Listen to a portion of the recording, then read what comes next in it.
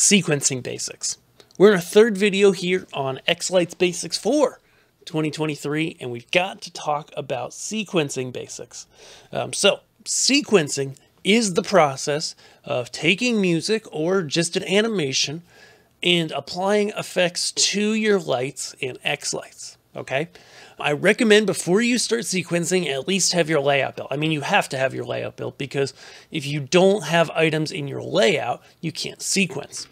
The other thing you want to do, which we didn't cover in the layout video, but we do cover in the Learn Christmas Lighting Academy extensively, try it out for just a dollar, check out the link below, is creating groups.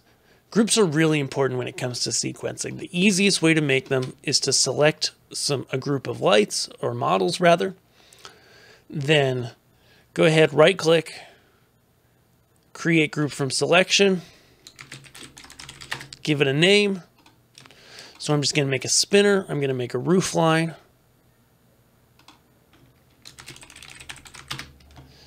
My tree is already on its own. It's the only Mega tree, uh, so I don't need a group for that. And then we're going to do everything. I call that all. Perfect. Hit save, control S, etc. And now we're ready to sequence. In the sequencer tab is where we're going to sequence, okay? First thing you do is create a new sequence, and now you have the option to go musical or animation. The only difference is just that with musical, you add in a music track, and then you start sequencing the music, right? And I'm just going to mute my audio here um, because I don't want to have any copyrighted music in this video uh, for the purpose of YouTube. So I'll go to musical sequence. This window pops right up. You want to go pick out uh, some music. So here's a song from my show last year.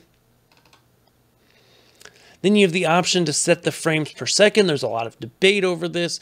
Does it look better to do higher frames per second? It does. It makes your sequence files bigger though. Um, honestly, I've, you know, as it says right here, if you're not sure, choose 20 frames per second. I'm kind of getting into the mentality now to just choose 40. Um, even though I realize in fast moving songs, in really fast moving animations, I can personally see the difference. I realize most of the viewers of my show cannot and do not care. So if you're not sure, choose 20. then most common way to do it is just hit quick start. That's going to bring in all of your models in groups in the order that you had them uh, all ready to go. Now it's time to start really having fun. So we've got our music in the top here we installed back in our first video the QM Vamp plugins, the Queen Mary Vamp plugins, and that allows us to go right click right here on timing, new timing, add timing track. I go ahead and I do first a bars or a measures one, press OK. It's going to analyze the music. And then I do one that is the beats. Uh, other people do other things. Oops, not bars, beats. There's lots that you can do, but I start with these two to really work on my show. I like to select the bars one. Um, selecting it in this little drop down uh, does have some advantages in lining up effects and how they snap to the grid. And then we're going to start to bring in some effects. So what you have here in the default window layout is you will have a model preview. That's the individual model you have selected. You'll have a house preview. That's your entire display. And then you have the sequencing area. So if I go and I grab an effect like the uh, butterfly, which is a very synonym, very um, obvious, very highly used effect, and I put it, say, on my whole house group, I see here that effect happen on the whole house in the model preview and in the house preview. If I take it and I can press control and use my up and down arrows and put it in smaller groups or individual models, you can see how the model preview changes to just that model or group, as does the house preview.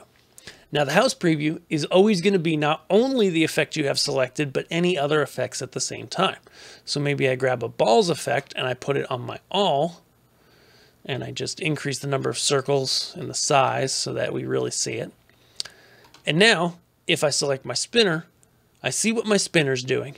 Um, but I also see on the whole house the other effects that are happening at the same time. Okay, now sequencing, honestly, is one of the biggest rabbit trails you can take in this hobby.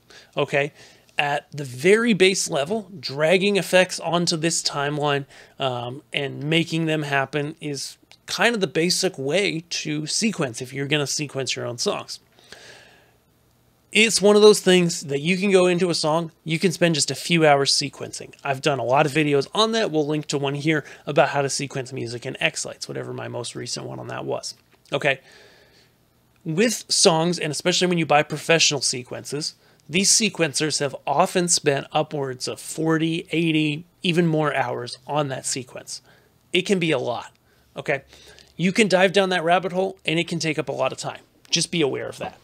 I like to keep it simple um, sequencer, keep it simple sequencer, kiss, right? Um, and if you're doing sequences yourself, I like to do that, right? Don't let this burn you out. And you can always purchase sequences in order to make your show happen. So say you've got a purchased sequence. Ooh. How do you add a purchased sequence to your display? Great question, David. So I'm going to do is just go ahead and delete these effects. And I know the sequence I'm going to bring in isn't even going to be for this song.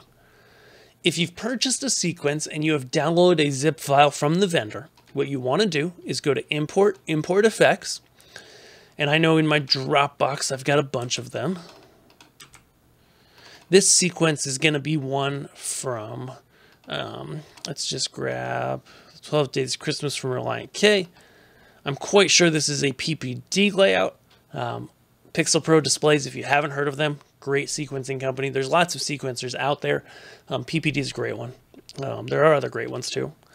And what we're going to do then is basically you take their models that are available here on the right side and you drag them over to your models here on the left. Now, you can hit auto map. When you hit that, it looks at the models on this side and the models on this side. And if any have the same name, models, groups, etc., it goes automatically, right? If you use one particular sequencer a lot, you find you like their style, you find you like the selection of music they have, then laying out your layout with the same names as theirs can save you a lot of time. But AutoMap actually doesn't save you all that much time, and here's why. Okay, once we go ahead and we start, we just bring in here our different options, okay? So I'm going to bring in my all display effects, and put that on my all group. All house, I really wish I had a group for that. I don't. So actually, I'm going to just put that on my roof line. Um, there's a lot because I've only done a couple models here. There's a lot that's not going to come over, right? Because, you know, they've got, you know, a whole bunch of groups here. I've got like three groups, right? I've got my all, I've got my roof line, I've got my spinners, and I've got my mega tree, which isn't technically a group, but is, you know, kind of a larger group of lights, right? So what I'm going to do next is you want to hit save mapping. Okay. What this does for you is you can save this. For example, I would say PPD to my show. I'd name it that, save that mapping file. I'm not going to do that right now.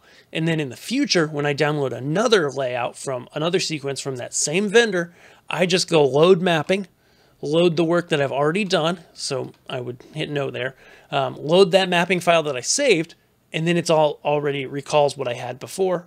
I'm probably done. Next, I'll press OK. And then what's going to happen is from that download, um, and it is going to ask you if you if you didn't save your layout, they're going to be like, what are you doing? You should save your mapping, right? And you should. Um, but I'm doing this as a demonstration, so I'm not going to.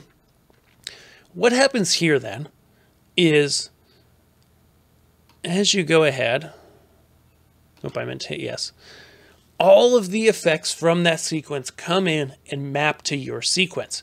Your computer will try to uh, grab those effects and render them.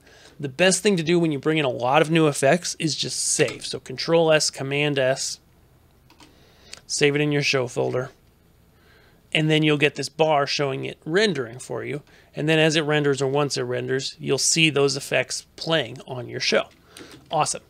So then you can go back and you can watch it. You can say, oh, do I like how these map? Do I not? You can tweak things individually, or you can go back, restart the mapping process, and rearrange some things from how you initially lined them up. You can line them up differently.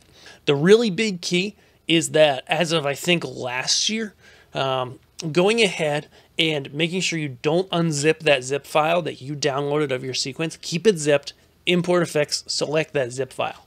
Okay, that means when you do that, your videos that are referenced by that sequence that are included in there and your shader effects um, both come in and match up automatically. If you unzip the file and go find the effects manually, which is the old way to do it, um, then you have to reconnect all those items or move them into a similar full into an exact same folder reference. Don't do that.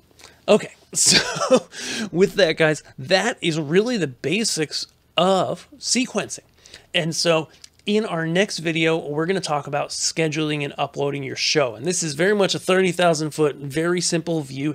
If you want something more in depth, we have a step-by-step -step, complete video course that walks you through everything you need to do, actually multiple courses, to make your first Christmas light display and then to add to it to continue with it in the future. If you want access to that, you want to check it out, you can try it for just a dollar. It's part of the Learn Christmas Lighting Academy, and you can get more details on that below or probably here on this end screen. Thank you guys so much for watching. We'll see you guys in the next video. Thanks.